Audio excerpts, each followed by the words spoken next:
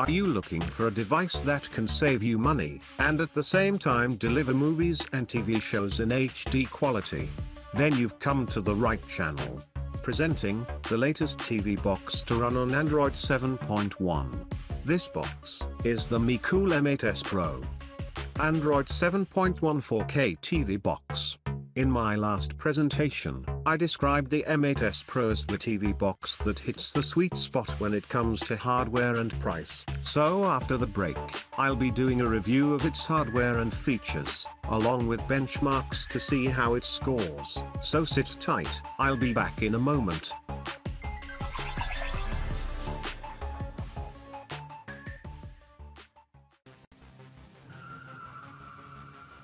Take advantage of the latest Fast and Furious movie promotion currently running during the month of April and May, with deals and savings, on exciting car gear, remote control vehicles, outing essentials, and super electronics. Brought to you by none other than GearBest.com, bringing to you yet another great and exciting promotion. See the link in the description area for more information. Welcome back. And what we have is this white box that the device comes in. The box is pretty basic, and all we have is some information on the back. It shows that the box comes with an octa-core CPU, and the CPU model is the Amlogic S912 CPU.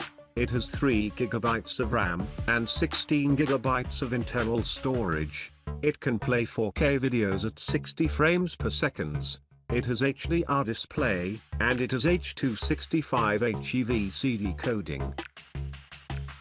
It's time to unpack the contents of this box.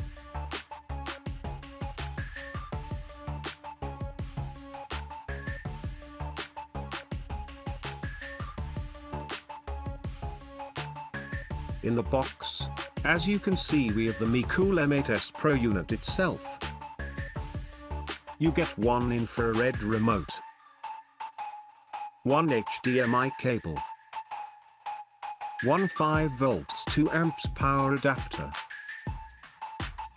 and a user's guide. Let's examine the box.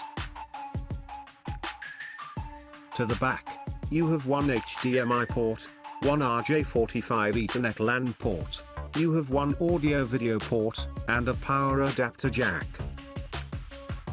To the side, you have two USB ports, and an SD card slot. There is nothing to the front and to the other side, just some ventilation holes.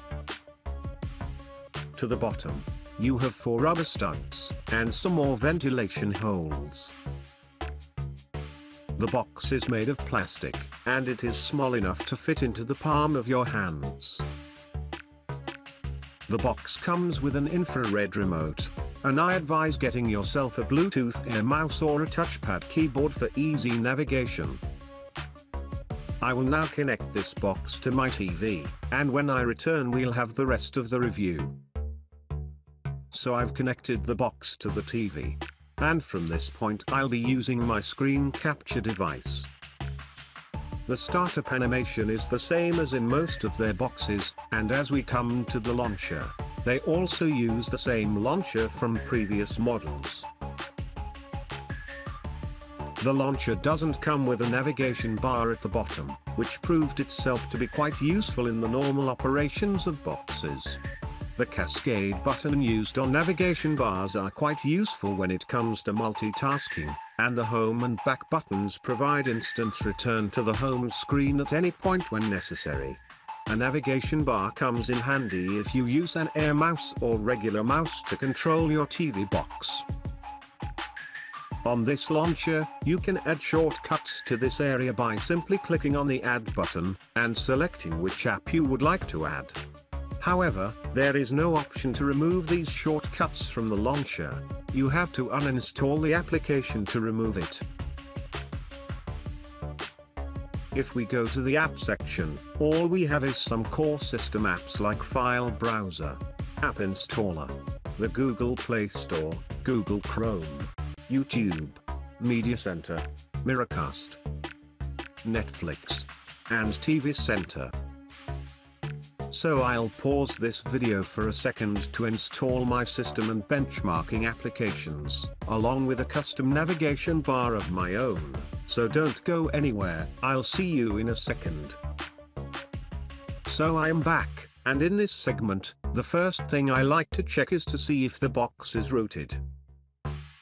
And it shows here that the box is not rooted, and the operating system is Android 7.1.1 Nougat. While we are on the subject of root access, let's check for any available updates for this box. And it says that there are no new firmware versions found at this time.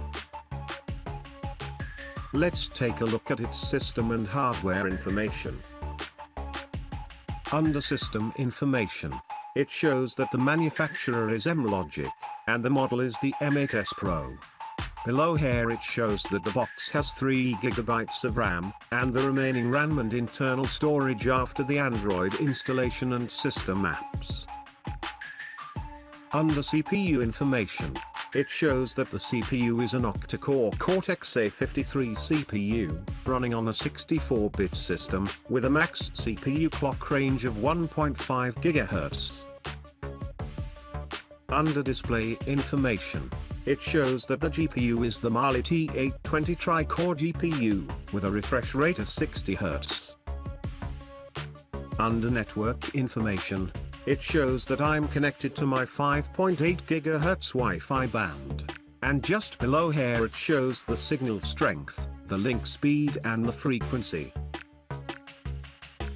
Under Android information, it shows that the version is Android 7.1.1 Nougat, and below here it shows that the box is not rooted. Under thermal information, it shows that the box's normal operating temperature is between 40 to 65 degrees Celsius, and this tends to increase with the level of activity on the box. Under codecs information, it displays a list of all the codecs installed on the box. You have codecs like H264 HEVC, and VP9 decoding. However, H265 is supposed to be in this list as it is stated in the description, but it's not. And that's it for system and hardware information. I'll now start the benchmark segment with some memory read and write speeds. And the results show that the box has a RAM copy speed of 2744 megabits per second, which is a bit on the low side when compared to other boxes in its class. The internal memory has a read speed of 54, and a write speed of 16, and the SD card slot has a read speed of 18, and a write speed of 13. I will now test some Wi-Fi network speeds. And from the results, it seems that this box does not have the best Wi-Fi reception, resulting in speeds lower than what my router provides. I now turn to the Antutu benchmark. The Antutu benchmark is one of the most popular applications that performs a comprehensive test on 3D graphics, memory performance, CPU capabilities, and overall user experience performance. In the end, the Mecool M8S Pro got an Antutu score of 39,216. Another benchmark is the Geekbench 4 benchmark. This application focuses on the box's CPU, and it performs a series of timed tasks to measure the CPU's capabilities. After all tests were completed, the Mecool M8S Pro got a Geekbench 4 score of 465 single-core, and 2402 multi-core. And the last of the benchmarks is the Ice Storm Extreme GPU test. This application performs a comprehensive test on the box's 3D graphics, processing of pixels and vertices, and it also performs a physics test to measure the box's ability to render high graphics details during gameplay. In the end, the Mecool M8S Pro got a score of 5194. And that's it for the benchmarks. I'll now run some 4K videos with various frames, and we'll get to see how the box handles them.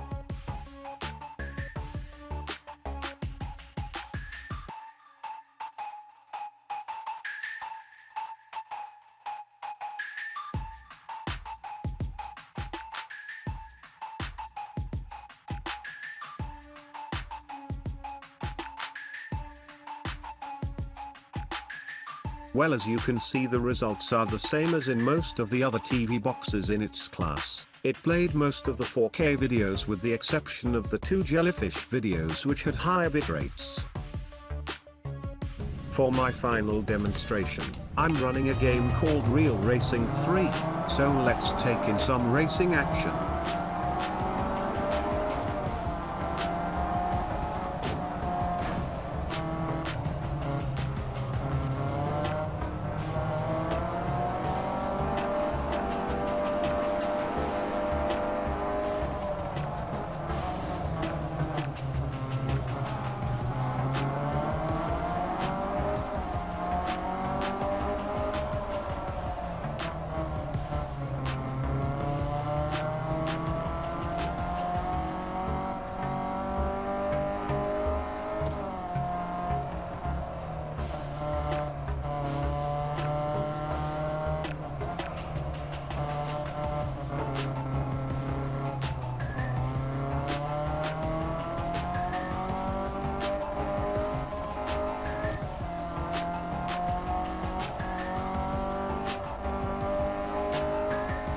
Game ran okay, but the graphics was not of the highest quality. So in summary, the Mecool M8s Pro is an average TV box, but it fell a bit short in the RAM copy speed, the Wi-Fi speeds, and the box is not rooted. It managed to play some 4K videos without any problems, and had difficulty with the usual two jellyfish videos, even though it runs on the latest version of Android 64-bit operating system, and it comes with DDR4 memory with Bluetooth 4.1, a bit more effort could have been placed on the quality build of the box. Hence why there's a low price tag on this device. So I have come to the end of my review. For more information on the Mecool M8s Pro, see the link in the description area. Thanks for watching, remember to take advantage of the Fast and Furious 8 savings promotion between the 24th to the 28th of April. Also remember to like this video, share it with your friends, and subscribe to this channel for more TV Box Stop videos.